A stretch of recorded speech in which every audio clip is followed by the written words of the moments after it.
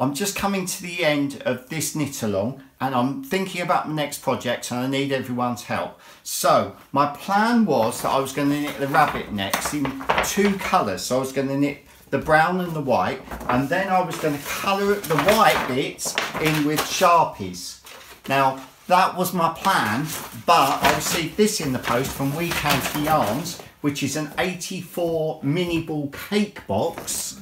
Do you want to see that, Joe? No, that's a terrible reflection. Uh, so the question is, would people rather that I knit it in two colours and filled it, filled the white in with sharpies, or would you prefer me to knit it in the round? And this is going to be a knit along.